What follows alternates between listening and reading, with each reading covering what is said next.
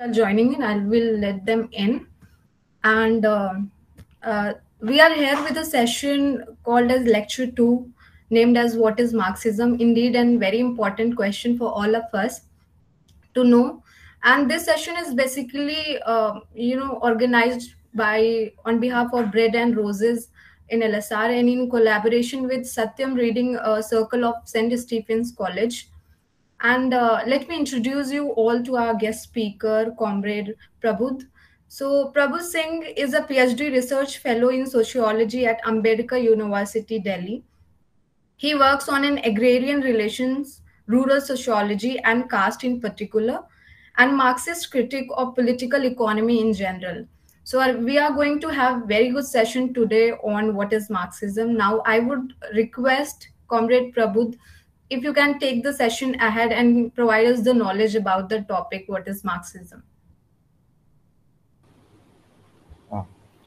First of all, thank you very much to uh, Bread and Roses for inviting me to take this lecture on what is Marxism and also Satyam Reading Circle of St. Stephen's College. Am I audible? Okay.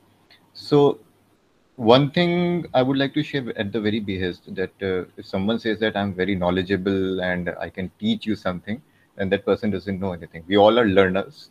We all are learning at our own pace. Some are advanced learners, some are basic learners. So the task of the study circle is always that someone who is uh, gone through those readings and has a certain uh, reflections on that, that person can share with that those reflections with others, so that others can uh, also have a guide, have a beacon light that how to uh, go ahead while going through a certain reading. So the topic, uh, so first of all, let me ask, uh, is there anyone who is not comfortable in Hindi? Because I'll be speaking bilingually. If uh, there is someone who is not at all uh, comfortable with Hindi, then I can continue major part in English. Otherwise, I can be bilingual in between. Uh, I think more or less everyone will understand both the languages. So it will be fine. So first of all, when we are saying what is Marxism, so it's something that if you ask your college professors, uh, ma'am, what is Marxism? They will give very vague answers. Everyone, uh, even I have done this kind of a thing that I will go and ask, what is Marxism? They will say, oh, Marxists are those people who fight for the working class. Marxists are those people who are just armchair intellectuals. So Marxists are those people who fight on the streets. Everyone will have their own reflection of what is Marxism, but they don't actually teach you that what actually is Marxism even in our courses which we study like sociology, political science, or history, we understand certain applications of Marxism over there, but not the core of Marxism. And that is why when even people when they come to PhD, they just think that Marx, oh, it's he's just about uh, critiquing political economy. So if you just want to understand capitalism and understand certain aspects of labor relations, then Marx is okay, perfect, fine. But apart from that, Marx has no currency. Then you have to go around wandering. So let me start to this lecture. So it will be in a lecture format because uh, I think in the online mode, having a discussion, one-on-one discussion becomes very much difficult. First of all, I have shared a reading with you all uh, in the messages, which is uh, Engels' burial speech. So basically, when Marx died, Engels gave a very short speech at his burial, and it is one of the classic crisp in a crisp format where you can see that what actually is Marxism. So if you go to the third paragraph, I will just read it verbatim for everyone to understand, and I would also urge everyone to read it uh, at the same time. Just as Darwin discovered the law of development or organic nature, so Marx discovered the law of development of human history. The simple fact, hitherto concealed by an overgrowth of ideology, that mankind must first of all eat, drink, have shelter, and clothing before it can pursue politics, science, art, religion, etc that therefore the production of the immediate material means and consequently the degree of economic development attained by a given people or during a given epoch form the foundation upon which the state institutions, the legal conceptions, art, and even the ideas of religion of the people concerned have been evolved, and in the light of which they must therefore be explained instead of vice versa, as had hitherto been the case. So basically, itna bada paragraph hai, what does Engels wants to uh, Engels want to say in this paragraph. Engels यही बात बोल रहा है that just like Darwin, what did Darwin give? Darwin gave a theory of evolution that from a certain cell, how a big organism came into being, and from that, how different uh, uh, species came into being. So Marx also gave a theory of evolution of human societies in a historical uh, format. And what he is saying is very simple, which we जो हम अभी गांव की भाषा में सुनते हैं roti kapada makan before doing anything else what drives human uh, history is its material needs. A child when it is born it cannot speak it cannot showcase its emotions. But when it is hungry when it wants to uh, go uh, discharge its urine or anything it cries. It has certain material needs it expresses it into a certain form. And that is just not the case for everything the baseline is your material needs. You're eating your other uh, material needs your clothing your shelter. These are the basis of a, and foundation of a human society. And everything else be it your art your culture your religion or whatever which has been formed in the historical development of his human societies or human history per se is based upon this foundation. So this is the foundation and any kind of explanation of an ideological growth be it in the form of religion, be it in the form of any other kind of an idea, be it gender, be it caste, be it anything anything else, has to be explained in terms of its material foundations. That is the crux of Marxism. And we will try to understand that how Marx actually came to this conclusion. So, first of all, we must understand that what Marxism is not, the second part. If we are having this vague idea that Marx talks about the material basis of human society, how it uh, uh, originates, how it develops, and how it uh, leads to the formation of various social institutions which we see around us. So next question comes and what not is Marxism? So Marxism is not theology. Theology, by theology, we mean that uh, some god or some creature has said that this is going to happen and the human society is arranged around that thing. Marxism is not theology. Marx is not a prophet.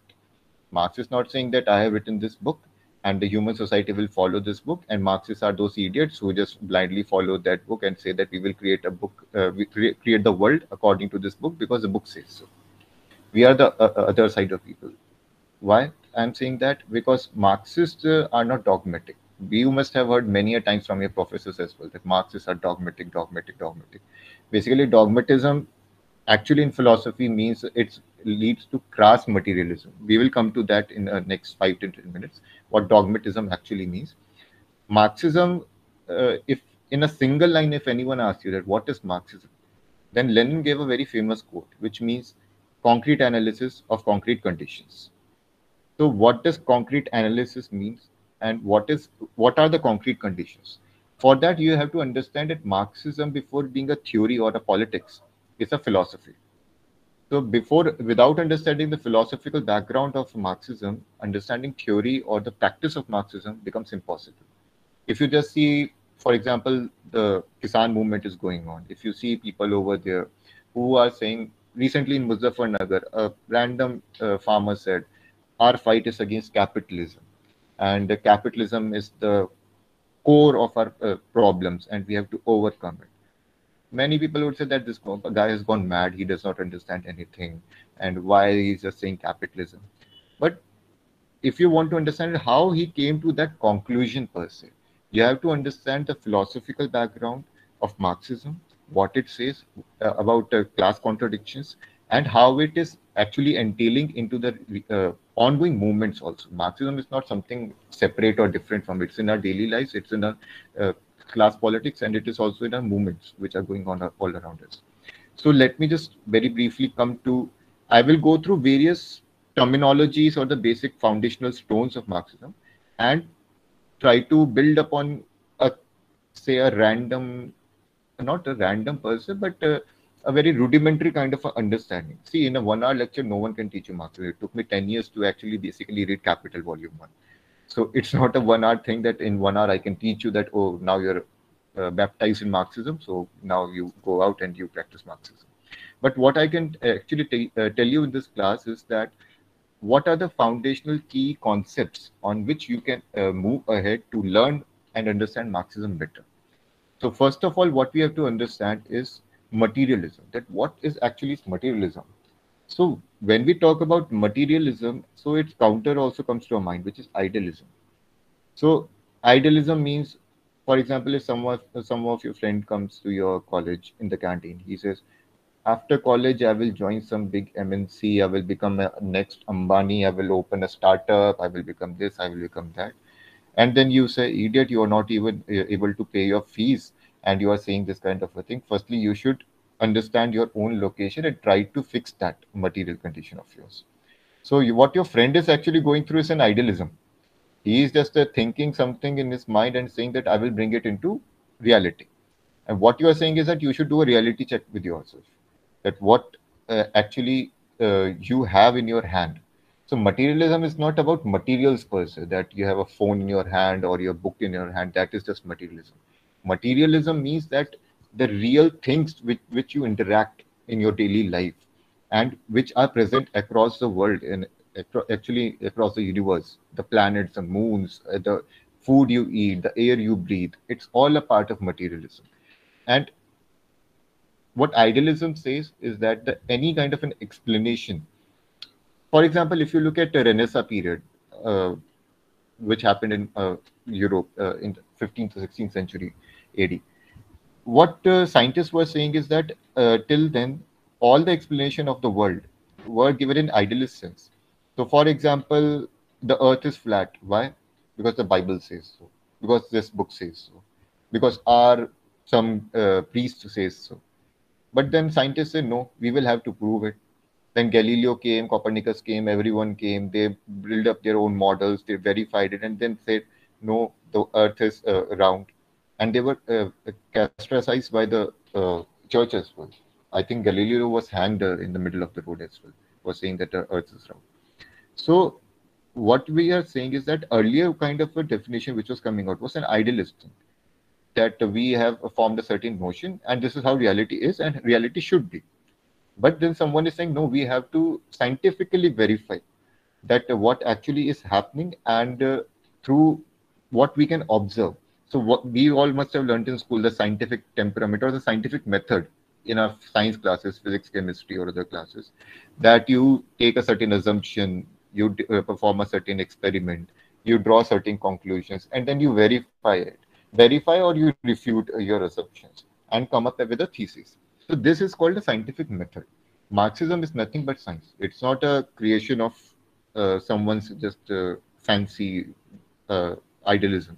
It is a science of understanding a material reality and how do you uh, understand it to change it.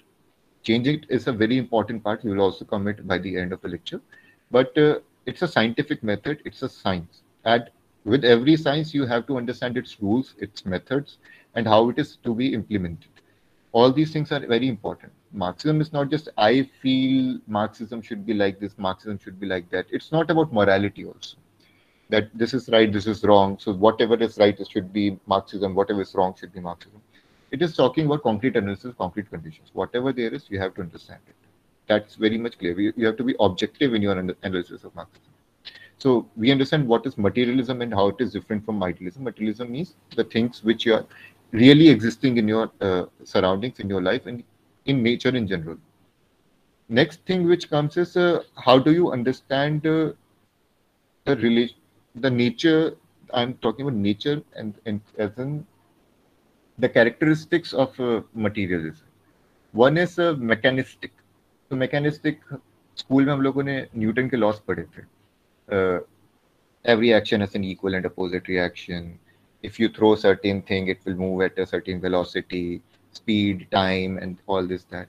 What it uh, assumed is that uh, there is a certain matter which has uh, its fixed properties, and through external force, it is uh, creating certain uh, movement, and you are studying that movement. It's therefore called mechanistic physics as well, the Newtonian physics. But uh, that is one form of uh, uh, physics. The other form of physics is the dialectics. Now, dialectics, what does it mean? Let me give you a very simple example to understand dialectics. Dialectics becomes very difficult for people to understand because when they try to understand, oh, negation of negation, one thing is uh, ha- happening, thesis, then antithesis, then synthesis comes into being. A very simple thing to keep in mind that what is dialectics is to take an example of an atom. What is actually is an atom? atom has a nucleus in center, where there are neutrons, there are protons. and there are electrons which are uh, revolving around it. You have certain valency. Valency means that the uh, number of protons should be equal to number of electrons. Then it becomes a stable atom so stable atom ek aise ban jata hai what we see in uh, an atom is that there are electrons which are very small in size protons which are much larger in size uh, as electrons. There are certain properties one proton is called a positive an electron is called a negative. If you take a proton separately and an electron separately it has different properties. Proton is a different thing it's a positive thing, uh, charge electron is a negative charge. The electricity which comes to our home is because of the electrons which are coming, but it's separately separated from the atom. Now, when an atom comes into being, uh, that into a nucleus, all the protons are there and electrons are revolving around it.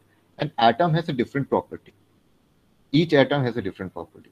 So what we are seeing, and all atoms are composed of electrons and protons. The same electrons and protons are made up uh, made up in uh, are there in uh, each atom.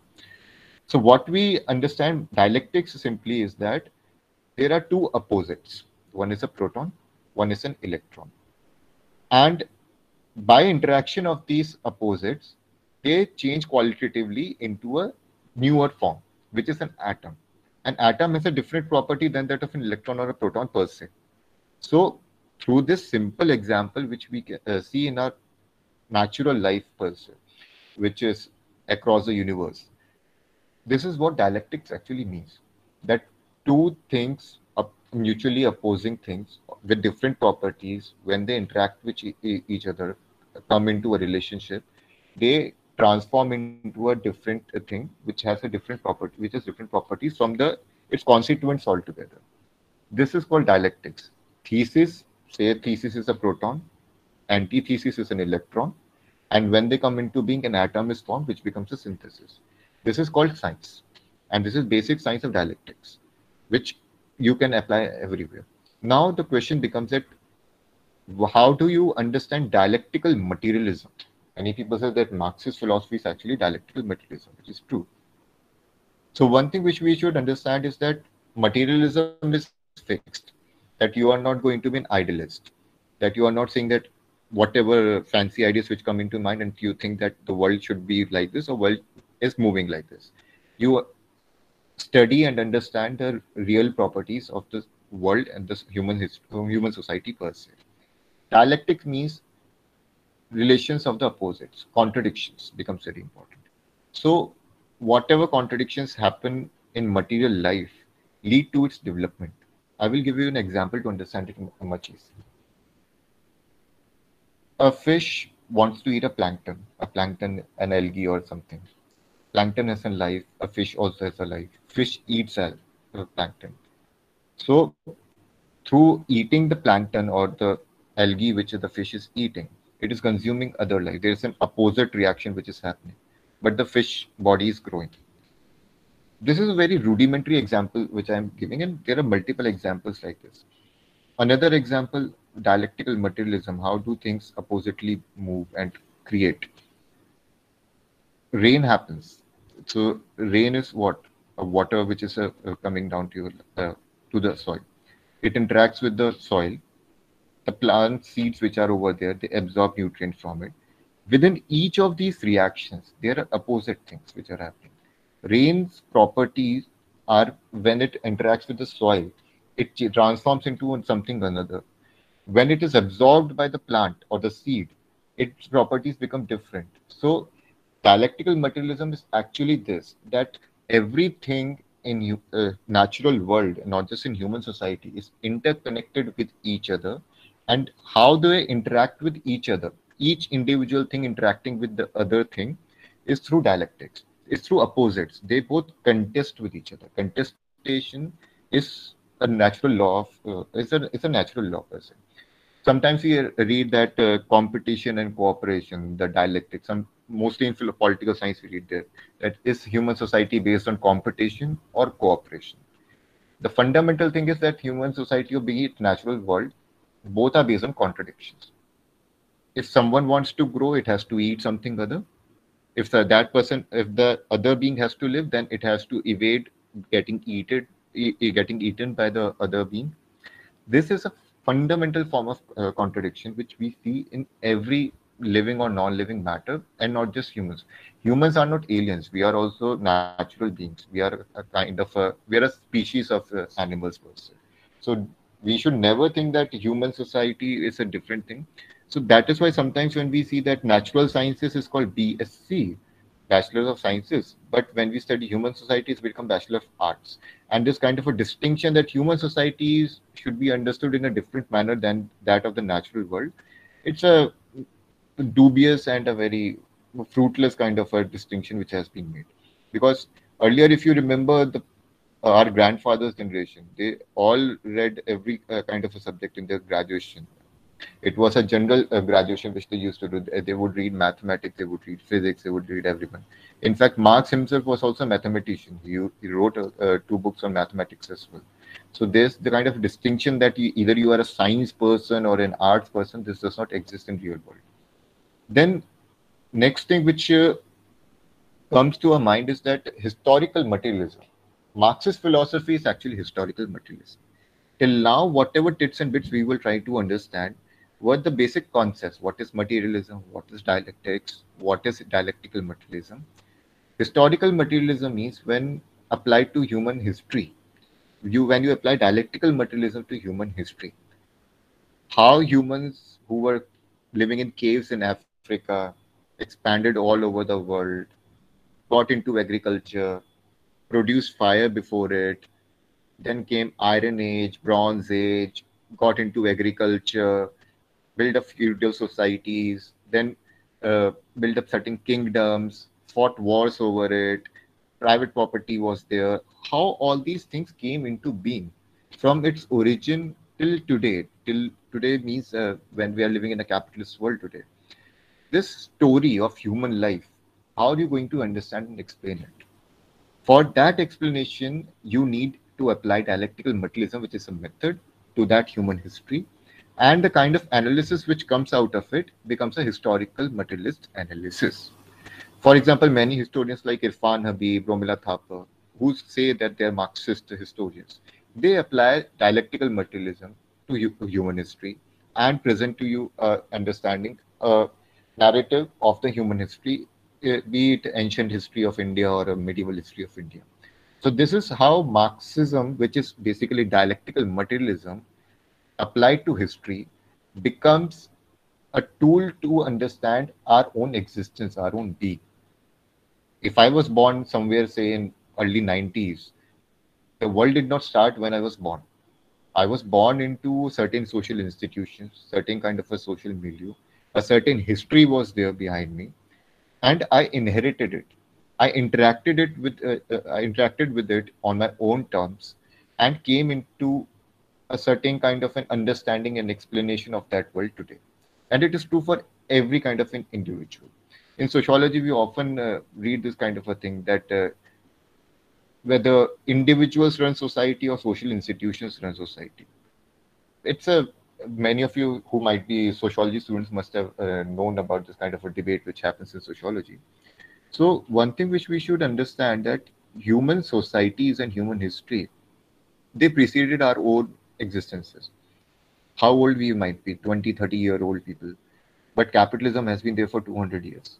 So if we think that are with our own limited understanding of 10 to 15 years, whatever we have experienced, sometimes we say, no, experiential knowledge is everything, and we don't need to learn about meta narratives, about human history, about general sciences, or anything else. How possibly can you uh, even try to understand human history eh, just by your own experiences? you have to have a certain kind of a scientific outlook, a temperament, and a theoretical model to understand human history and place yourself into it then. So that's why I initially said that Marxism is a, science. It requires an objective study. You can't approach Marxism saying that, oh, in my life, I have, for example, I'm a worker or I'm a farmer or I am a woman or I'm a queer person or I'm from this caste or this tribe or this nationality. I have certain questions and let me see how Marxism resolves my questions. That is not that is can be a starting point, but Marxism is not a holy book which you will open and you will find certain uh, answers into it. Marxism is a science which gives you an understanding that whatever your prob- your problems you are facing today, they are not your individual problems; they are systematic problems. And to understand the systematic problems, you have to understand the historical origin and functioning of those institutions to change it. Even to change certain things, you have to understand that those things before. So that is why Marxism becomes an important tool to understand the human history and the social institutions where we are living in. So the next part, which becomes after historical uh, materialism, another thing which uh, becomes a very key concept in Marxism is mode of production. So what exactly is mode of production? Mode of production basically means, for example, if I want to build this mobile phone, how do I build this? Our interaction with this mobile phone would have been, I bought it online, I just placed a, uh, buy option and it got delivered to me. But that was not how this phone was built. This phone was built by certain, uh, uh, uh out of certain things. There is there are certain elements into it, metals, silicon, which has gone into it, rubber, glass, and everything. There are mine workers who would have worked in mine, got out those metals. Then there would have been transport workers who would have uh, uh brought them to the uh, certain factory. From that factory, they would have gone to a certain workshop. In that workshop, there would have been certain technicians, engineers, certain workers. There would have been people who would have assembled it. Then there would have been people who had marketed it, shipped it, and then you got it into your hand now the question becomes that this mobile phone is not just how you experience your mobile phone. There is a whole production process which goes into it, and it goes in every kind of a thing, even in the basic food which you eat. The whole farmer's agitation, the movement which is happening, is because this production, uh, this mode of production thing, how it has been changed, uh, sought to be changed by the government. So, if you want to understand farmer agitation, understanding Marxist analysis of farming, or not just farming, of the political economy per se becomes very much evident. And in fact, most of the farmers who are participant uh, in the farmers agitation, who are in lakhs and lakhs of numbers, have understood this thing. And it's not something that oh, if you're studying only in LSR or Stephens only, then you can understand it.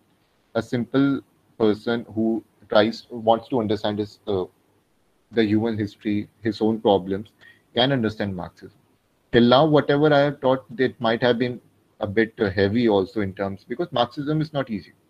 It's not as if, oh, you just give two slogans and you become a Marxist, or you just take a membership of a certain organization, by default, you become a Marxist. Marxism is a process, it's a long process.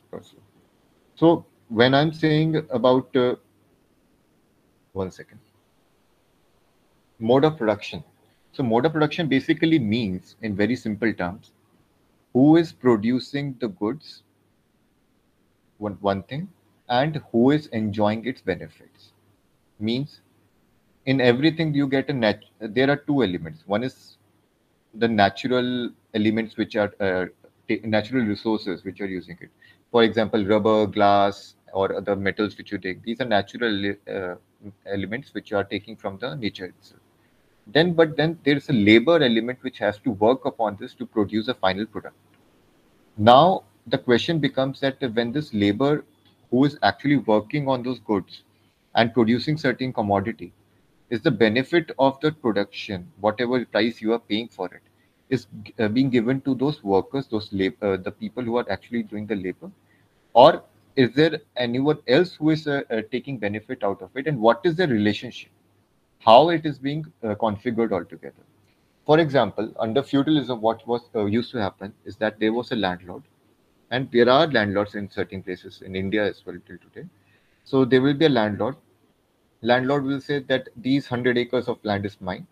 So if you are a farmer, if you want to grow your crops on this field, okay, you are free to uh, grow crops on this uh, 10 acres of land. You grow the crops on it. But when the harvest season comes, I will take one third of your uh, crops as a rent.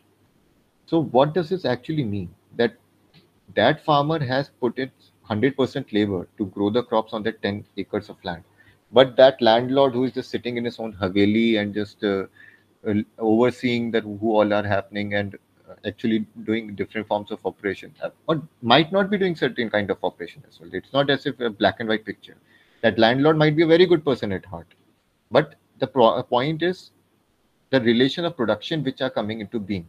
The mode of production is different, and relations of production are the relations between those two humans, the farmer and the landlord. Mode of production is a system, how it is being configured. So when we are talking about the mode of production in feudalism, that landlord will take one third of your produce, no matter how good or bad a person that person is, whether that person is a white or a brown, whether that person is an upper caste, is an OBC or an SC or whatever caste, class, gender of that person. Class is a different thing, but caste, gender, or any kind of a social location, whether that person is a woman or a, a man, that does not matter what matters is the relation of production, which is a very objective understanding which we are talking about. So it's not uh, as if we, when we Marxists say that Adani, Ambani, Murdabad. It's not that uh, I have certain kind of a Khandani dushmani with Adani or Ambani. It's because of their position in the mode of production which which we criticize. That they are monopoly capitalists. That is why we are criticizing them. It's not to say that Adani is per se a bad person. He might be a very good person to hang out with. But in the mode of production, as in his as his position of a monopoly capitalist. That is what we are criticizing. So this understanding is very much essential. That we what when we say Marxism, it's a science and it has to be objectively studied. You can't bring in your morality question into it. So I guess mode of production thing under feudalism is very clear. Under capitalism, it's a very it's a bit tricky question. So under capitalism, what happens is that you invest a certain money. Uh, for example if you want to put up a factory you take certain money now the question of uh, where do this um, does this money come from is a different thing altogether and and important thing is that for example if you invest 100 crore rupees set up a factory of say producing mobile phones. Now the workers who are producing goods over there you are paying them say 5000 10000 rupees as monthly wages. But the value of the mobile phones which those workers are producing cumulatively is say for example 10 crore rupees per month. And the wages which they are receiving is only say 1 crore rupees now the question becomes where does this 9 crore uh, rupees of labor is going? So that 9 crore uh, rupees of labor is what is technically called. We are not saying he the capitalist might be a good person bad person. That might be tata birla or adani ambani or that might be you or me also. That 9 crores worth of value of labor is being exploited by the capitalist of the workers. This is baseline definition of exploitation.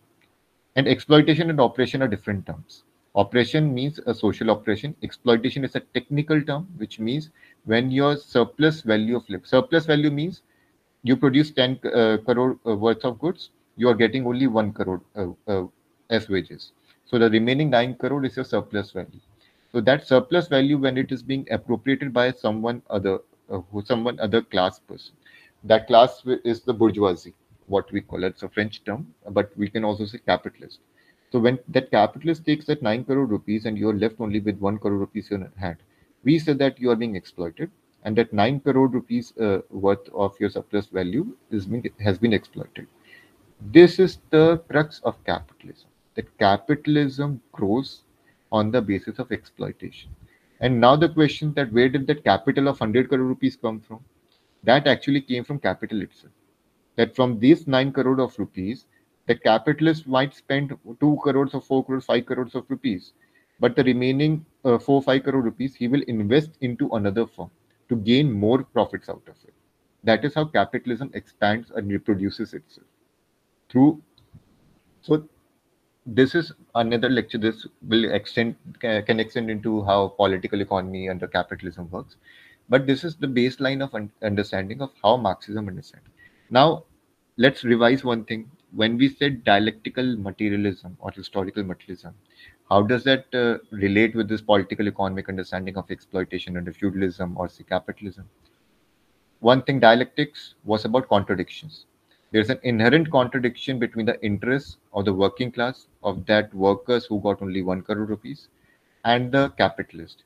That capitalist will also want that the workers who are getting 1 crore should not even get 1 crore they should only work for 50 lakh rupees so their both class interests are antagonistic to each other there's an inherent contradiction built into the model of capitalism this is what we call a dialectic so there is a complete contradiction which works out in the political economy.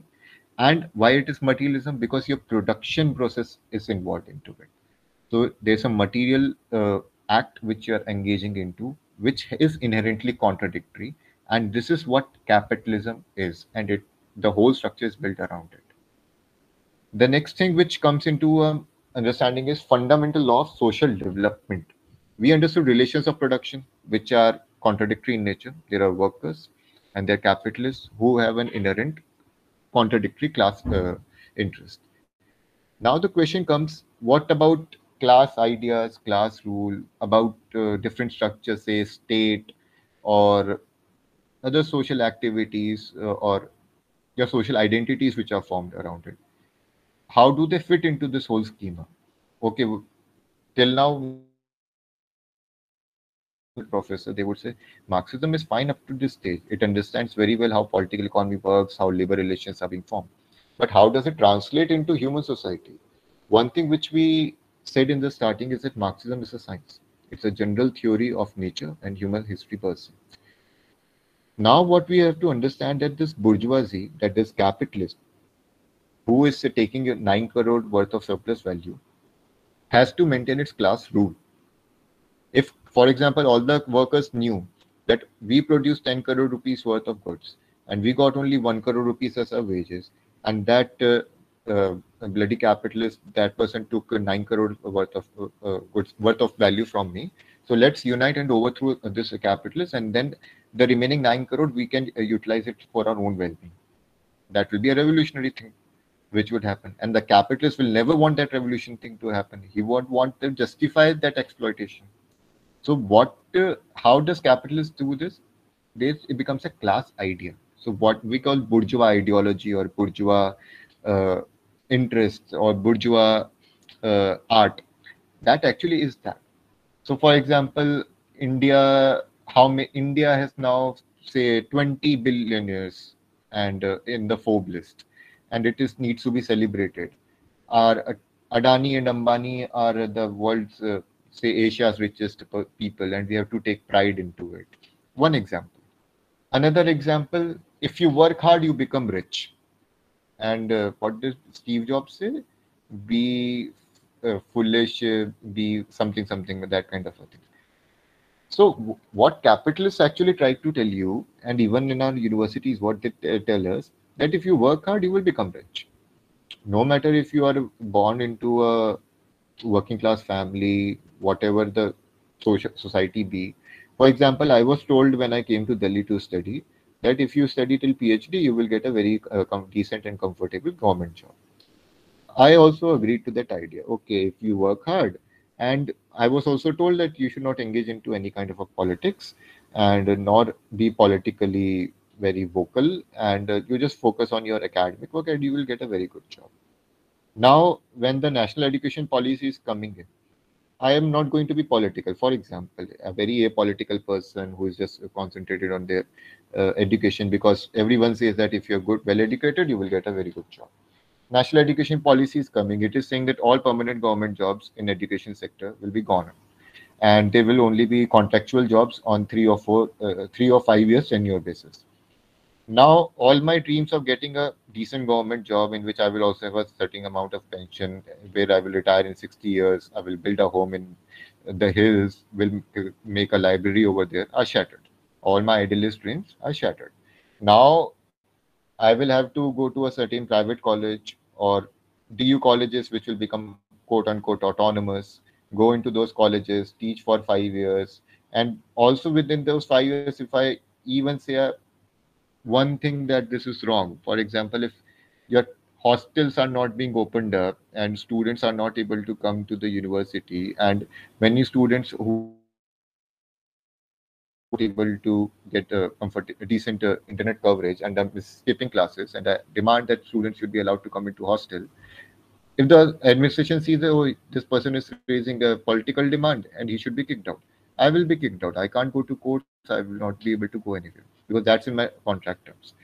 So, by being apolitical, quote unquote, and being completely away from any kind of a political understanding of how world works, nothing is going to be changed. I am just a pawn in the whole, a cog in the wheel per se. That the wheel is turning and you are asked to be a cog in the wheel and be silent about it. Whatever is happening, you just uh, give certain kind of an explanation.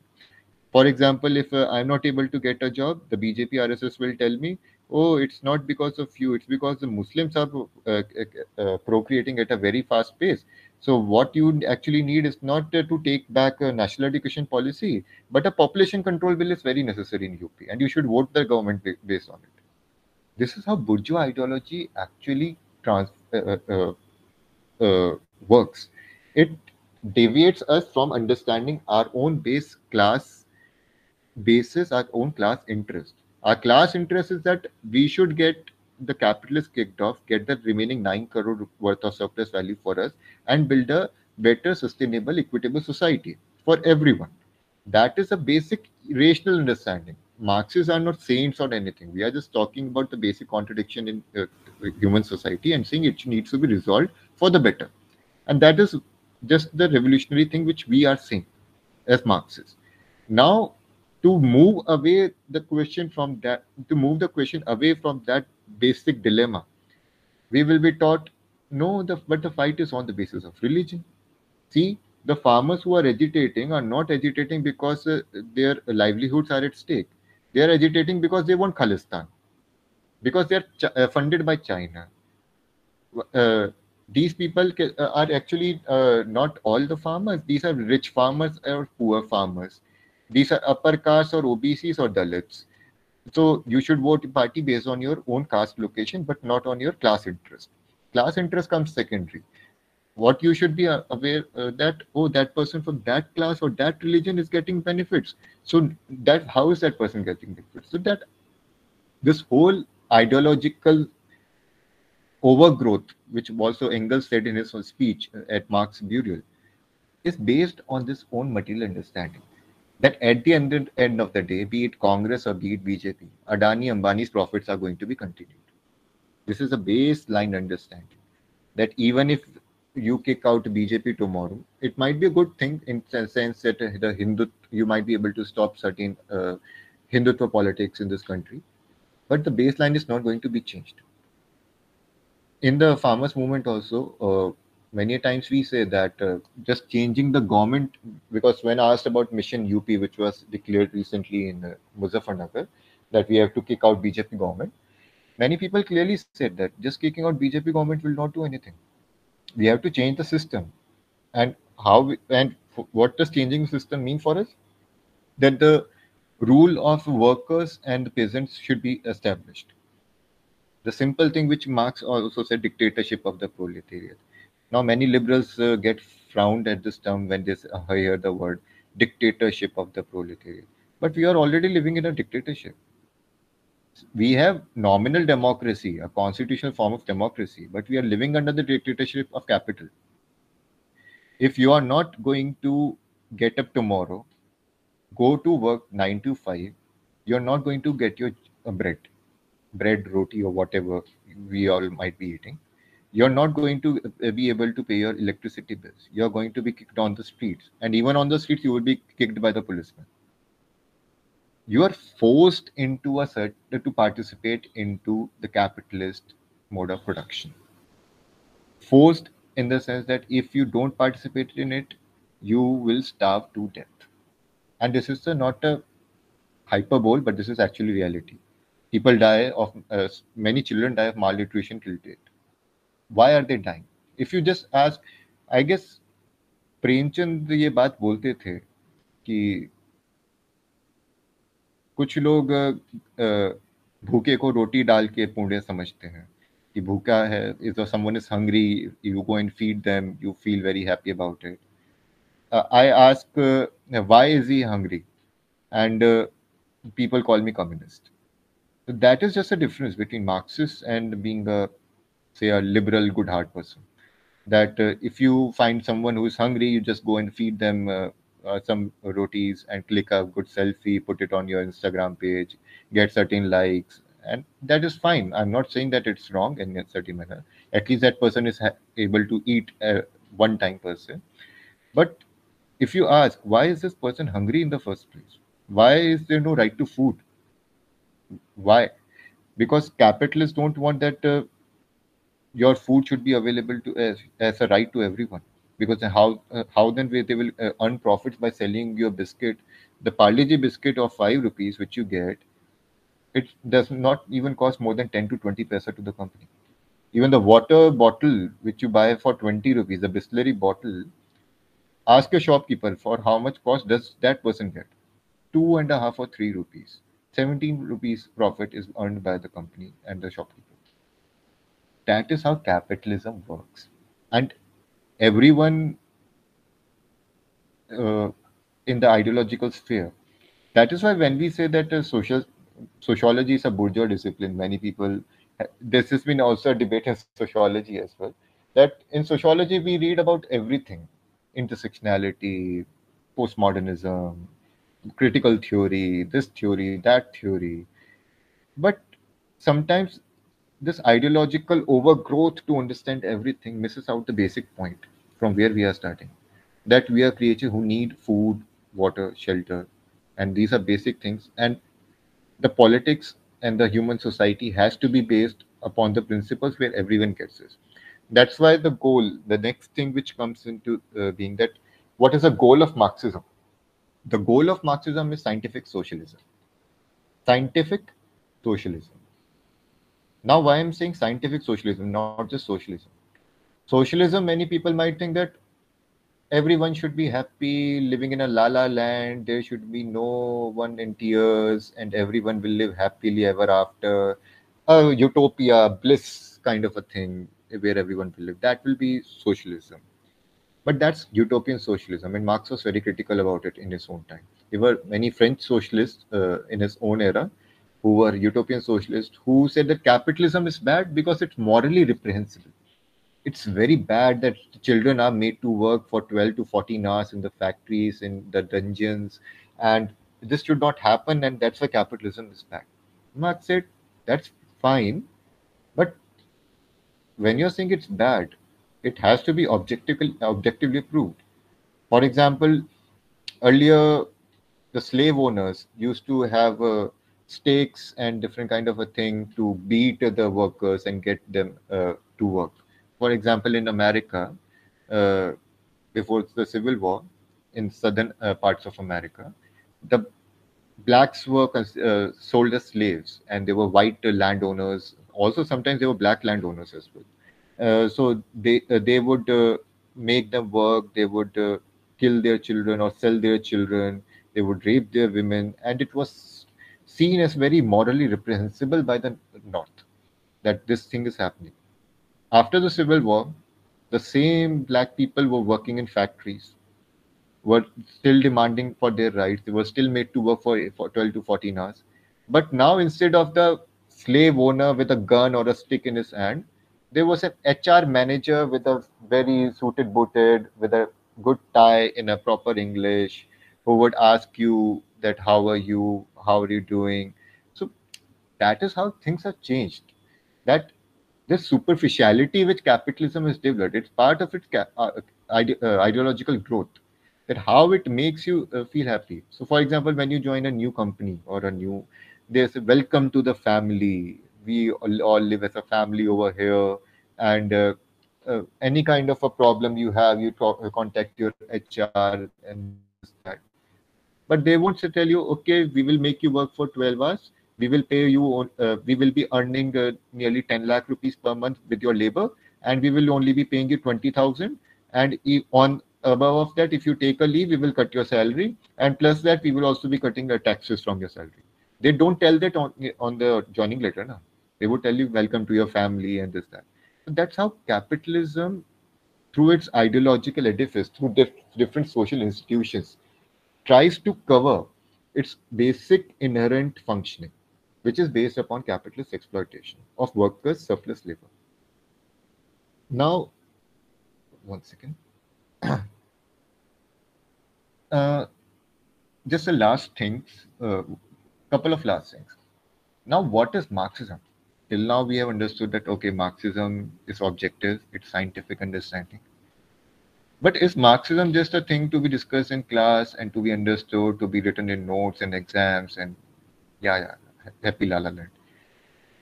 Marxism, actually, uh, Lenin used to uh, call them pristine philosophers, the university philosophers.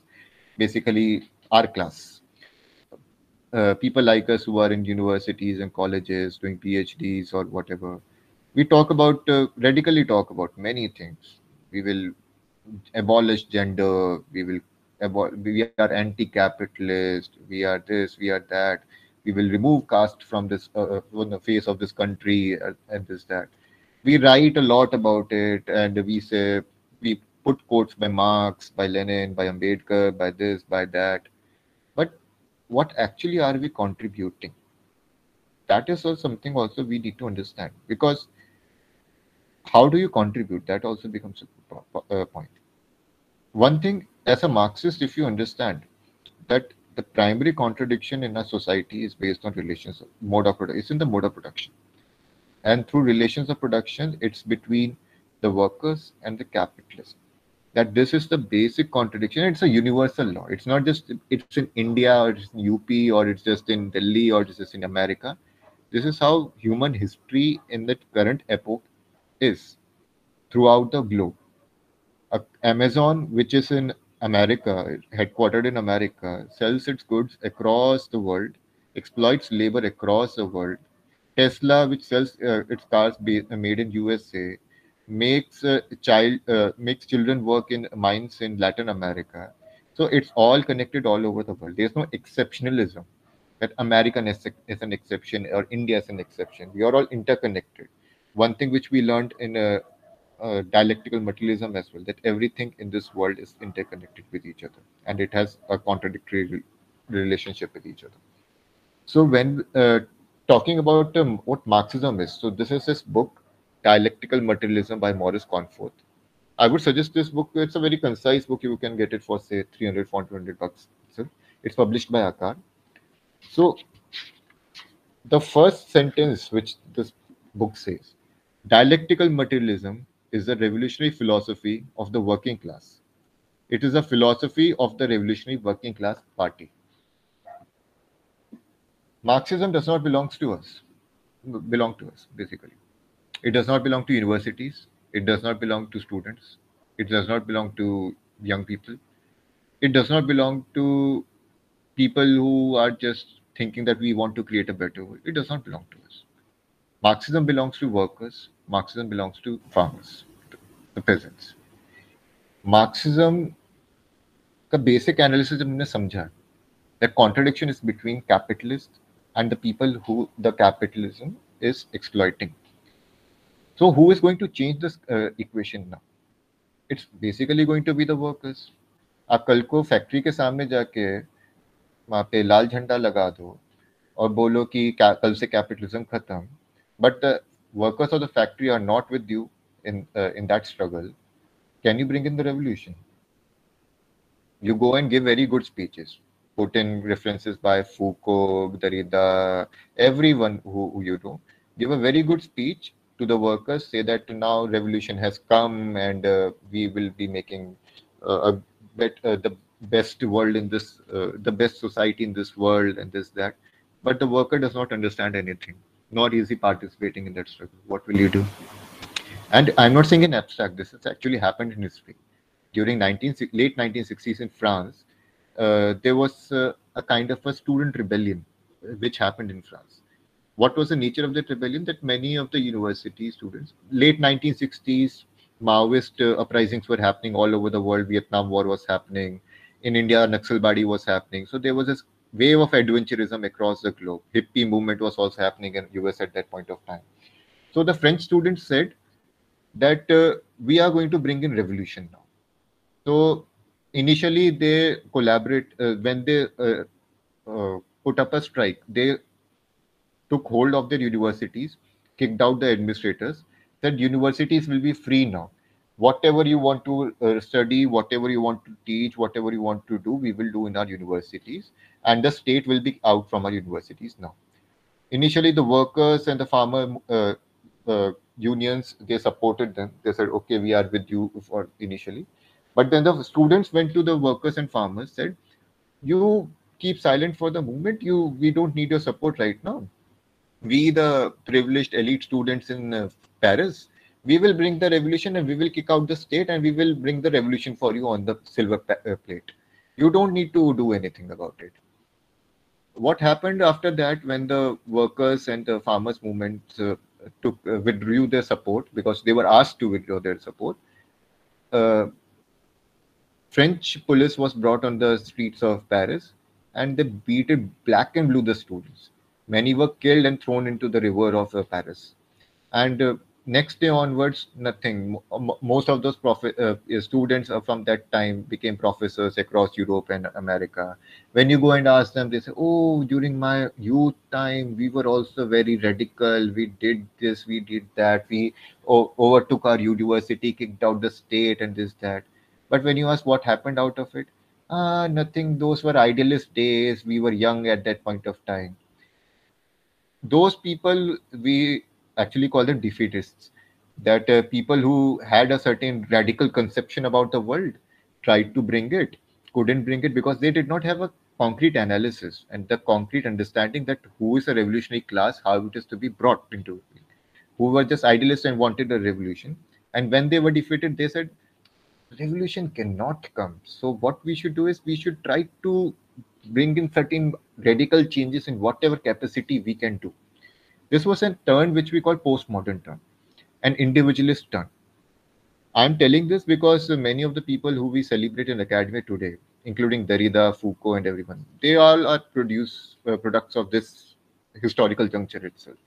Foucault and Derrida both were part of this uh, student uh, fiasco which happened in uh, Paris at that point of time, and they were the radicals who were rescued out of that uh, a historical movement and brought to us as radical uh, thinkers of the of our times.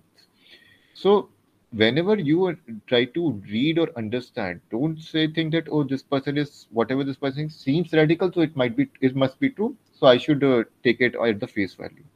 Use your own scientific temperament in our fundamental duties of the constitution itself. Says we will inculcate and propagate a scientific temperament but we most of the times forget about it. So that is something which we should keep always keep in mind. So marxism belongs to the revolutionary class and the revolutionary class is that of the workers and the farmers. It belongs there itself. What we as students at best can do is we can help the Marxist struggles in our own limited capacities. Limited, why I'm saying limited? Because we are not revolutionaries. We should be very clear about it that by reading Marxism or being a Marxist, I'm not a revolutionary. Or uh, other people who say that I'm a Marxist, I'm a very revolutionary person. I might have revolutionary thoughts, but I'm not. I do not belong to the revolutionary class. That is a baseline understanding which we need to understand. So that is something which we need to keep in mind. Then the last part is that uh, if uh, it's about workers and farmers then what is the history of marxist struggles? Marxism has been on the face of the earth for past 150 years. And there have been numerous struggles across the globe. And marxism is not just one country specific. It's a workers it's a global movement. Marx and engels write in the manifesto in the last line workers of the world unite so it's not about uh, we just want our workers to be emancipated. There can be no emancipation unless the whole global working class is emancipated. One important an- uh, analysis of Marxism. So history of Marxist struggle, I would say India, that what is Marxism if you want to understand through its own functioning in India. We all must have read about or might have heard about uh, Telangana struggle or Tebhaga struggle Telangana Tebhaga struggles were actually peasant struggles against landlordism. Tebhaga means uh, that uh, we will pay earlier under feudalism, what uh, we discussed earlier, that the feudal has uh, the feudal landlord has land. He asks the farmers to work upon it and says that okay, you give me one third of your produce. So earlier, just uh, farmers were asked nearly half or say two thirds of the uh, produce as rent. But Tebhaga struggle said we will only pay one third and not more. And it was an armed struggle which happened in Bengal pre-independence. Uh, Telangana struggle was com- to completely kick out landlords from the uh, place. It happened in Telangana, and at that point of time, it was under Nizam's rule. Even today's farmer agitation, which you are seeing today, it has. It is not just uh, led by. It's not just a Marxist struggle per se. Se, there is not Marxist struggle. Marxism is science. science. Whatever movements are happening, a Marxist person will go there with their own understanding in politics and will try to contribute to that struggle. There's no Puritan revolutionaries or Puritan Marxism that you have to be from this particular caste, class, gender background with this particular understanding, with this amount of particular amount of political correctness, which is daily updated by Instagram. Only then you are a revolutionary, otherwise you are not. That is not how Marxism works, or even any kind of a social movement works even in this struggle, if you see in the farmer struggle, this is my last uh, contribution just for two minutes. Even in this struggle, if you see, there are farmers from different backgrounds, social backgrounds, I, I mean, from Punjab, Haryana, UP, Uttarakhand, MP, Rajasthan, Telangana, Tamil Nadu, Maharashtra, Bihar, every state, uh, from every state, farmers are participating. But one thing which each farmer would say that ladai kiske khilaaf hai? Adani and Ambani. Who is Modi? Modi is Adani Ambani's dalal. Uska agent hai, Adani Ambani. They all understand that the fight is against the corporate loot. And the corporate loot is not just upon farmers, it's in each sector. The trains which are being sold off, privatized, the roads which are being privatized, ports which are being privatized, the kind of monopolies which are being created in every sector, be it telecom or any other sector, the PSUs which are being sold off, everything is interconnected. And it is all meant to benefit a handful of capitalists. This is the baseline struggle, uh, baseline of understanding which this movement has brought forward. And it's not just an understanding which just the left has of course, and whenever we go to uh, Ghazipur border or other places or, or other protest sites, I find many BKU people, Bharatiya Kisan Union people, they come and tell us that, comrade, whatever you were saying 30 years back, that when liberalization was happening in India, that all the corporate loot will happen and uh, uh, your farms will be taken, uh, uh will be controlled by uh, the big corporates and corporate farming will come into being. We thought that you are idiots you are just uh, fancy soviet era hangover people and you don't understand what is what are benefits we are going to get from market economy. But today we understand that whatever you were saying was actually correct it does not mean that we are correct and our egos are satisfied it only means that the marxist analysis was correct that where we are heading for uh, to and it has become into foreground because now it has come into it has वो प्रत्यक्ष हो गया जिसको बोलते हैं evident it has become that it has become so evident today that even a person who does not have read Marx or knows about Marx will tell you that the fight is against Adani and Ambani and corporate loot. so this is the ba- the profound understanding of Marxism, and here I would end that uh, the lecture itself. And if anyone has any discussion que- points, questions, suggestions, you are free to uh, contribute. Uh, thank you, Comrade Prabudh. That was very comprehensive. The series of topics that we have covered today, from uh, you know idealism and then materialism and all mode of uh, production. So I think uh, doubts will, are very genuine process of learning. So if any comrade or anybody has any doubt, do ask or write in the chat box. We'll read out the question.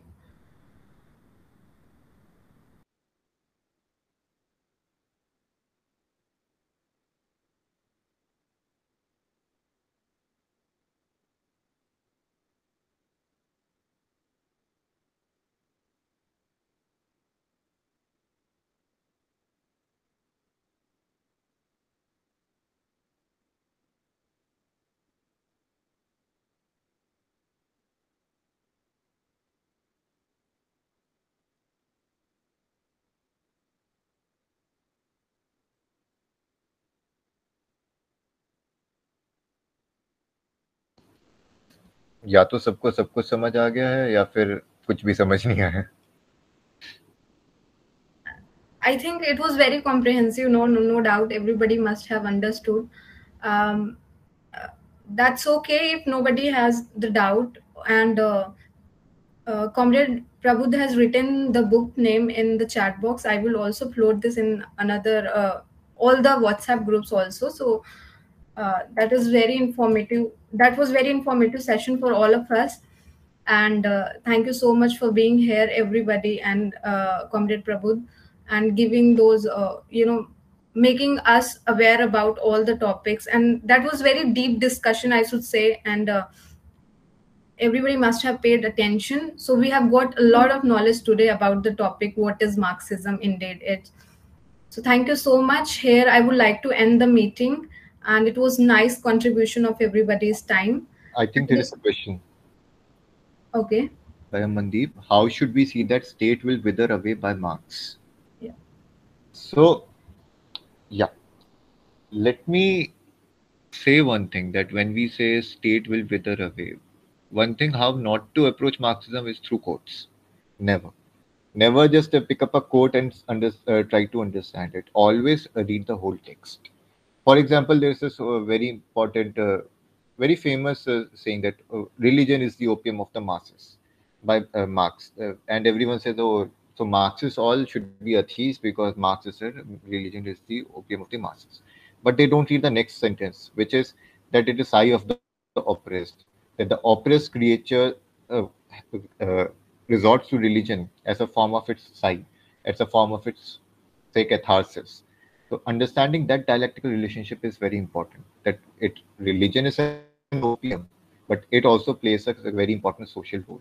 Now, when we are saying that uh, the state will wither away, what Marx actually meant by it is that when we uh, achieve uh, scientific socialism by overthrow of capitalism, for example, it's a very uh, theoretical uh, understanding, very simple, basic uh, equational understanding. For example, if that capitalist who was uh, taking 9 crores worth of uh, surplus value is kicked out, now 10 crore worth of uh, whole produce has to be distributed among everyone.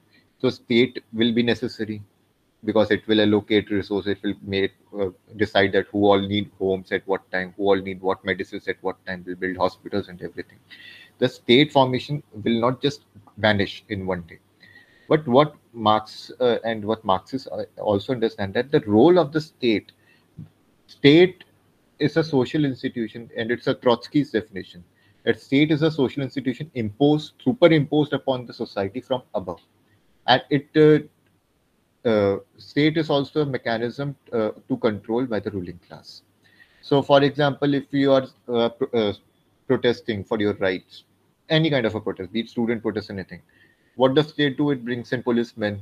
If you try to uh, go into uh, dharna or anything, it will beat you black and blue. Why does it do that? Because it is a, uh, its task is to maintain the social order of the ruling class and any kind of uh, opposition which comes to it has to be crushed. That's a task of the state.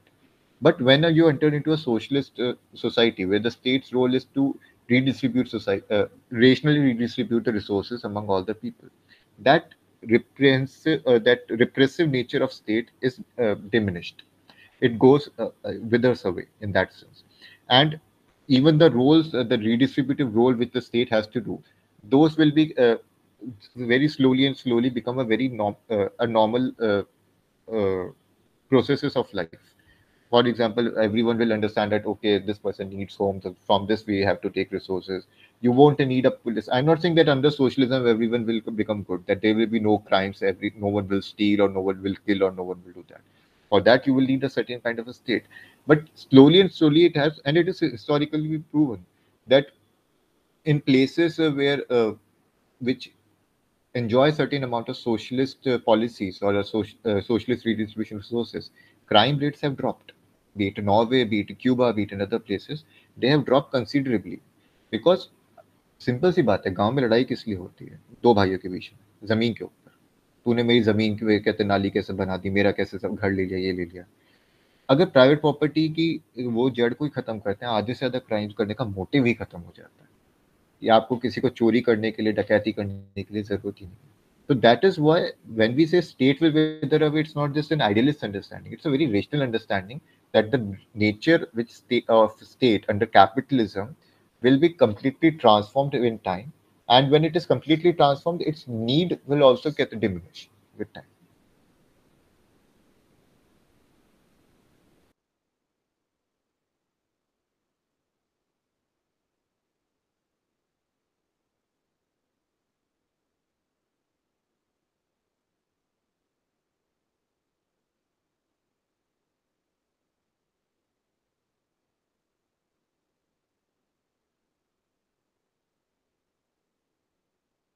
Uh, thank you so much, everyone. I think there is anything else in the chat box.